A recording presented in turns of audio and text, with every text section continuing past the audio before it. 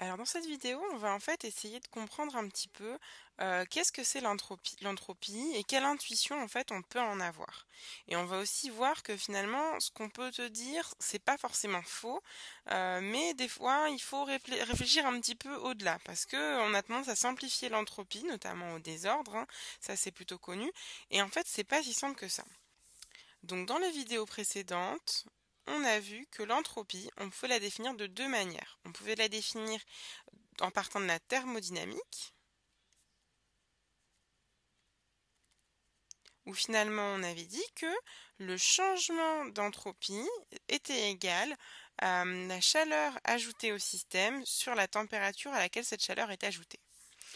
Et on a aussi vu que on pouvait finalement définir cette entropie de manière statistique. Et donc, dans manière statistique, on avait utilisé la définition qui nous dit que l'entropie, eh bien, en fait, elle est proportionnelle au log de oméga, où oméga, c'est rien d'autre que le nombre d'états qui est accessible au système. Donc, accessible.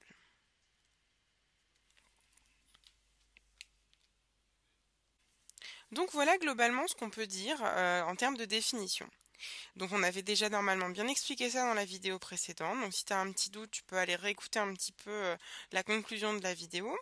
Et donc ce qu'on va faire en fait à partir de ça maintenant, c'est qu'on va pouvoir énoncer le deuxième principe de la thermodynamique. Donc le deuxième principe de la thermodynamique.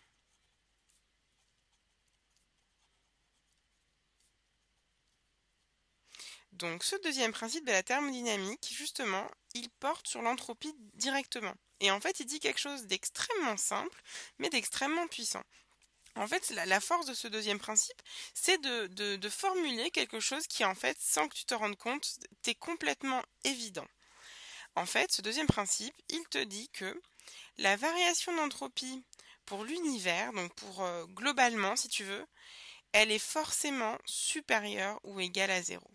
Alors tu vois, c'est vraiment, on se dit comment ça peut toujours être possible. Quelque chose qui est toujours positif ou nul. C'est pas possible, ça veut dire que ça augmente sans fin.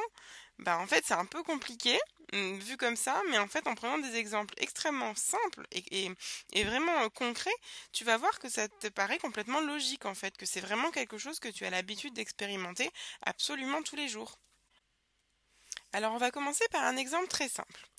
On va prendre deux contenants. On va prendre un contenant ici qui est chaud. Donc lui, il est à T1. Et on le met en contact avec un contenant qui lui est froid, qui lui est à T2. Et donc, ce que je dis, c'est que T1 est supérieur à T2, vu que euh, le contenant bleu, il est plus froid. Et donc si là je te demande qu'est-ce qui se passe, si, je te demande de décrire cette expérience, à ton avis, qu'est-ce qui va se passer en termes d'échange de chaleur?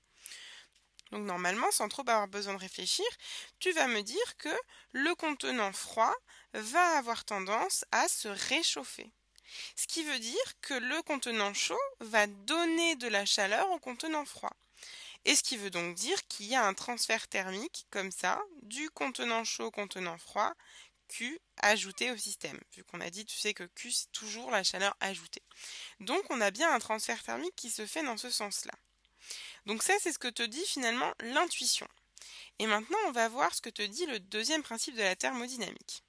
Alors, si on essaye de l'appliquer, nous, on dit que euh, on va faire donc le, delta S pour tout le système. Et on va dire que ce delta S global, donc on va l'appeler d'ici de l'univers si tu veux, vu que c'est celui qui englobe mes deux systèmes 1 et 2, eh bien ça va être égal à l'entropie qui est échangée au niveau du système 1 plus celle du système 2. Donc là jusque-là, j'ai juste décomposé le problème, j'ai rien inventé du tout. Maintenant par rapport à 1. Si je me place du côté 1, eh bien je vois qu'en fait mon compartiment 1, il va donner de la chaleur. Et comme on se souvient que cette définition, elle est en termes de chaleur ici ajoutée, ajoutée, eh bien je vais pouvoir mettre ici moins Q à la chaleur T1. Ça, c'est l'entropie, c'est le changement d'entropie au niveau du compartiment 1. Et si maintenant je m'intéresse au compartiment 2, eh bien le compartiment 2, lui justement, on lui ajoute Q. Donc ça va bien être plus Q, et on lui ajoute Q à quelle température? À T2, donc sur T2.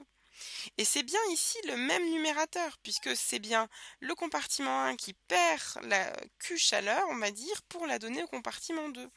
Donc tu vois qu'ici, c'est bien ça qu'il fallait trouver. Donc moins Q sur T1 plus Q sur T2.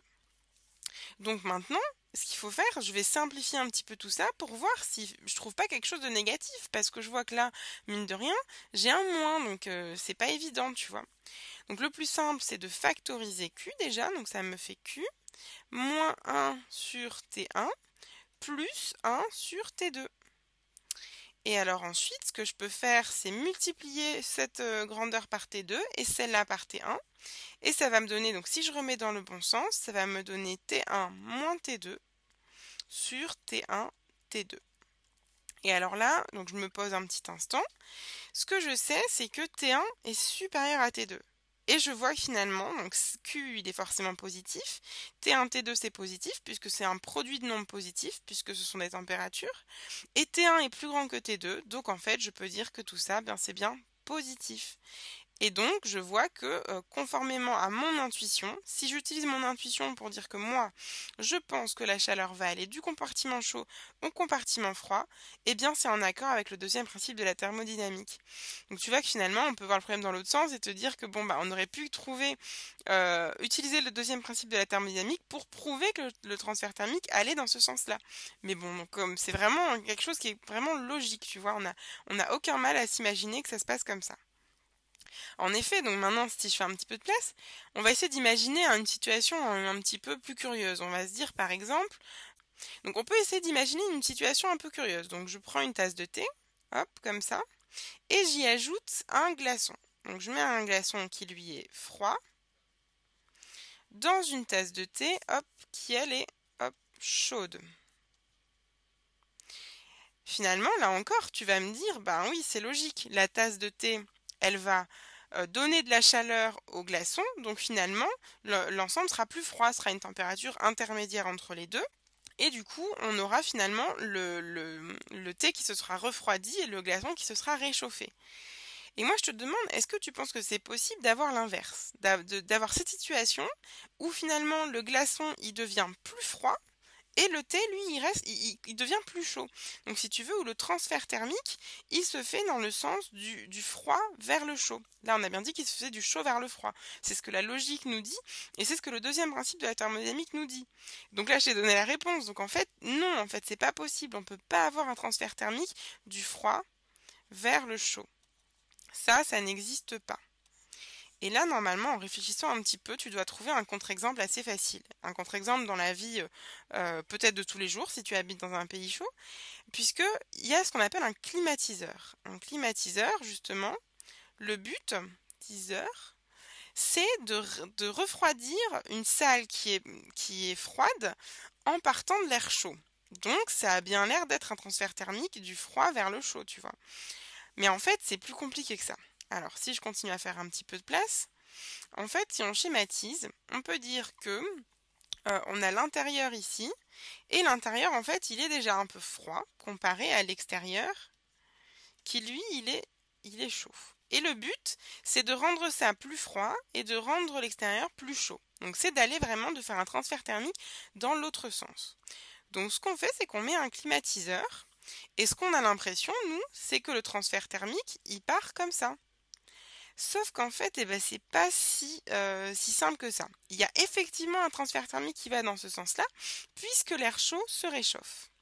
Mais il ne faut pas oublier que pour faire ça, eh bien, on ajoute ici un moteur, en fait. On ajoute un engin qui va travailler. Donc, il va y avoir du travail qui va, en fait, générer, lui, un autre transfert thermique euh, de la machine, on peut l'appeler, ou de la, du climatiseur, on va mettre donc C qui va, euh, qui va aussi apparaître.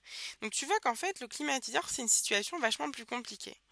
Et si on essaye très rapidement d'appliquer le, deuxième principe de la thermodynamique, on dit que euh, l'entropie de l'univers, dans ce cas-là, c'est l'entropie de l'intérieur plus l'entropie de, enfin, quand je dis l'entropie, le changement d'entropie, bien sûr, de l'extérieur.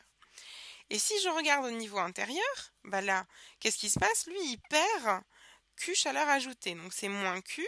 Et si ici je dis qu'on est à T, euh, on va dire T1 et ici T2 sur T1. Donc ça c'est ce qui se passe à l'intérieur.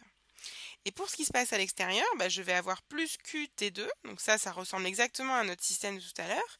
Et là, ce qu'on dit, c'est que finalement, T1, donc si je refais mon, mon petit calcul où je factorise, donc je le fais rapidement hein, parce que si tu veux le voir en détail, tu peux le voir euh, en haut, ça va nous donner T1 moins T2 sur T1 T2.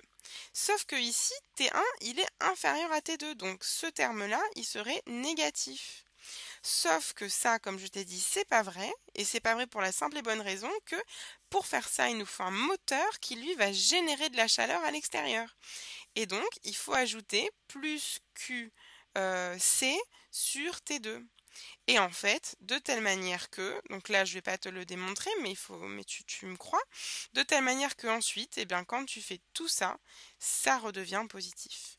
Donc tout ça pour dire que même dans une situation où on a l'impression qu'il y a un transfert thermique du froid vers le chaud, eh bien en fait pour faire ça on a besoin d'ajouter du travail, on a besoin de fournir de l'énergie et du coup c'est pour ça qu'on donne l'illusion d'un transfert thermique dans le sens inverse, mais au niveau de l'univers, au niveau global, eh bien c'est toujours positif ou égal à zéro.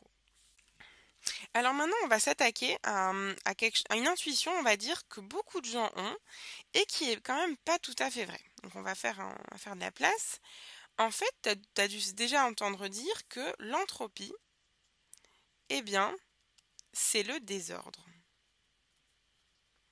Et alors moi je suis pas d'accord avec cette définition. C'est une définition en fait qui est parlante, mais qui il faut il faut la préciser parce que c'est pas vrai dans l'état comme ça. Parce qu'en fait, tu vas, imaginons que tu as, euh, par exemple, euh, euh, tu as une, ta chambre, et donc dans ta chambre, il y a des choses. Et on va dire qu'il y a des choses qui sont rangées, par exemple, dans des coffres. Voilà.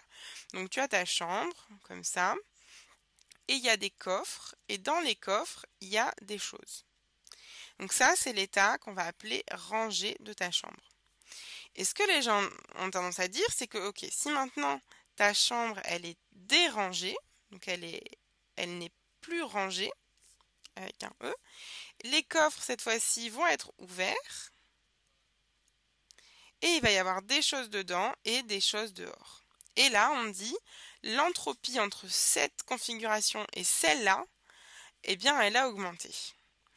Mais en fait, tu vois, ça dépend euh, de, l'échelle à laquelle tu regardes. Parce que si tu regardes en termes de chambre, et si on reprend la définition euh, de l'entropie statistique qui nous dit que S, c'est proportionnel euh, au logarithme du nombre d'états accessibles, c'est ça qui va déterminer si ton entropie augmente ou pas.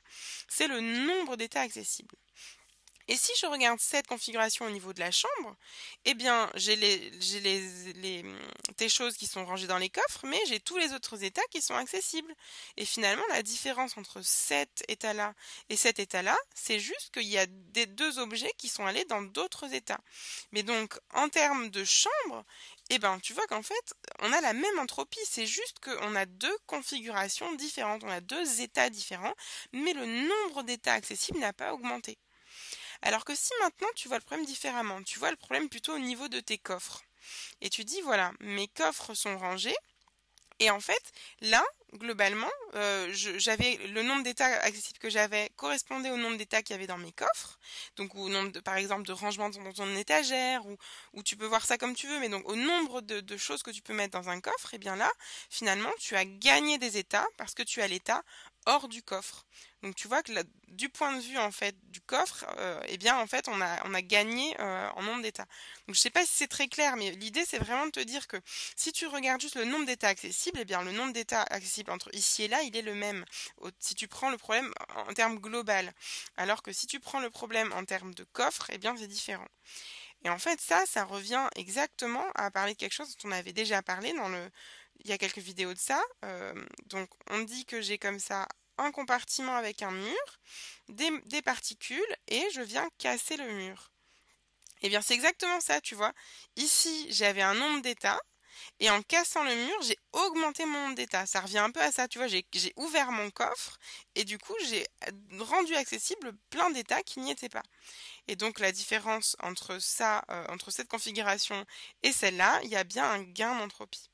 Donc là, j'espère que tu vois, ça te semble un petit peu plus logique. En tout cas, ce qui est sûr, c'est que l'état rangé ou dérangé, ça suffit pas pour dire que c'est qu'il y a eu un gain d'entropie. Parce que globalement, s'il y a le même nombre de choses et qu'il y avait le même nombre d'états, ben, ça revient exactement la même chose. C'est comme, tu vois, tu imagines une bibliothèque, et eh bien, si tu as euh, des étagères vides et que tu changes juste les livres de place, ben, tu as juste changé les livres de place. Par contre, si tu achètes une nouvelle étagère, et eh bien là, tu augmentes ton entropie parce que tu, tu donnes des états accessibles.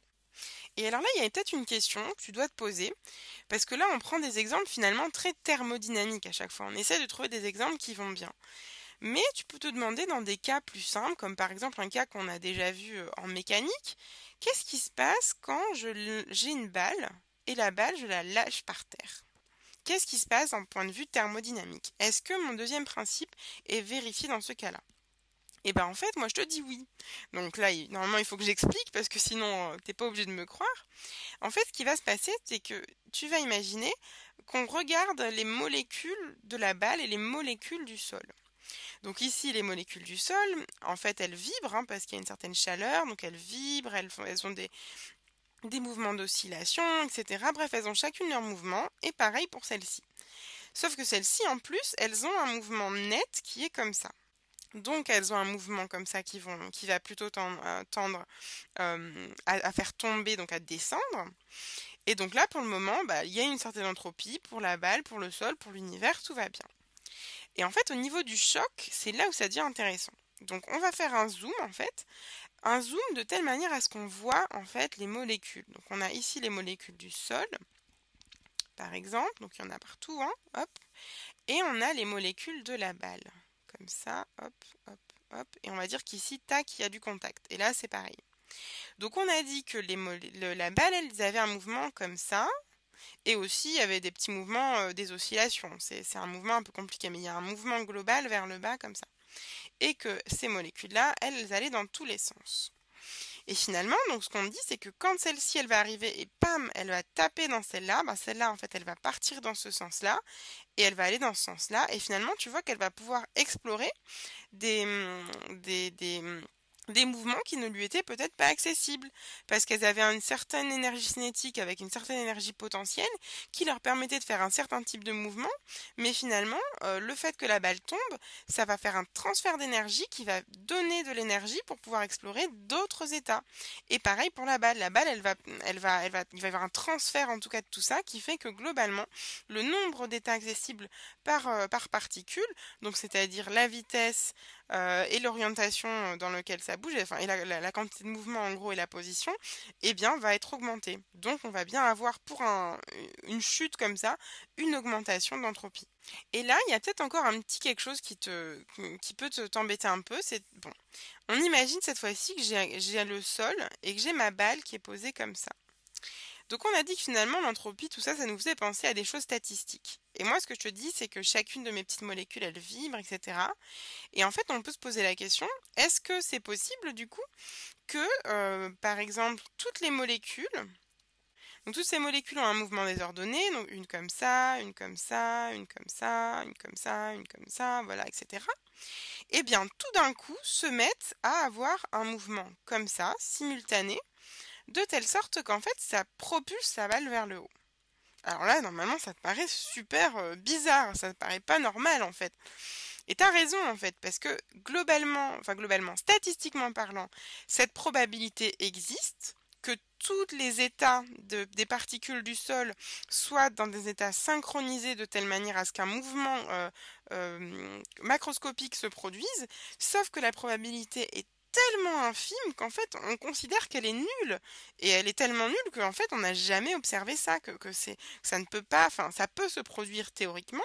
La probabilité enfin le, cet état existe mais il est rarement euh, atteint. Donc tu vois ça constitue un état qui, va être très très peu euh, euh, réalisé. Et comme d'ailleurs cet état-là, tu vois, si je considère maintenant que c'est ouvert, eh bien globalement on s'imagine que cette particule-là elle va aller là, et que cette particule-là elle va aller là, et que globalement ça va se répartir dans tout le volume.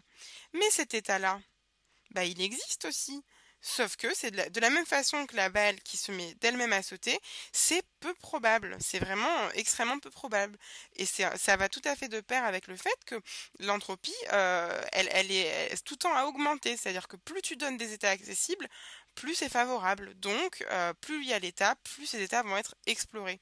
Donc finalement, ça veut dire que le système va préférer, euh, profiter de tous les états qui lui sont proposés plutôt que de rester dans un état euh, contraint, si tu veux. En conclusion, tu vois, ce qu'il faut vraiment retenir, c'est que tout dépend finalement de l'échelle à laquelle tu regardes. Parce que ce qu'il faut bien comprendre et bien retenir, c'est que le deuxième principe de la thermodynamique, lui, te dit que à l'échelle de l'univers, donc à l'échelle globale, eh bien l'entropie augmente. Donc le changement d'entropie est positif. Mais c'est bien précisé à l'échelle globale. Parce qu'en fait, si tu restreins ton, observation à un système donné, tu vas pouvoir momentanément trouver un changement d'entropie qui ne va pas dans le bon sens, c'est-à-dire une entropie qui diminue ou, euh, donc un changement d'entropie qui est négatif. Sauf que si tu considères les travaux, les, transferts thermiques et tout au niveau vraiment de l'univers, que tu prends tout en compte, eh bien tu trouveras toujours, toujours, toujours une entropie qui, elle, va augmenter. Et donc, euh, donc ce que je voulais dire, c'est que pour conclure tout ça, on peut dire qu'en fait, l'entropie d'une molécule, ça n'existe pas. Donc je ne peux pas me dire quelle est l'entropie de cette molécule-là, parce que ce qui m'intéresse, c'est le nombre d'états accessibles. Et si je, spécifie ce que je regarde, eh bien, je la regarde dans un état. Donc tu vois, ça devient beaucoup plus compliqué. Donc il faut vraiment se concentrer sur les macro-états. Donc si je reviens, tu vois, à l'idée de la chambre, c'est vraiment ça. Je ne regarde pas euh, où sont les objets, je regarde comment ils peuvent, euh, quelles, sont euh, les, configurations qu'ils peuvent adopter. Et donc j'ai vraiment une, observation au niveau de l'espace plutôt qu'au niveau de l'objet. Donc voilà, c'était un petit peu compliqué, mais bon, normalement c'est quelque chose où on a une bonne intuition, mais il faut faire attention à pas trop simplifier les choses.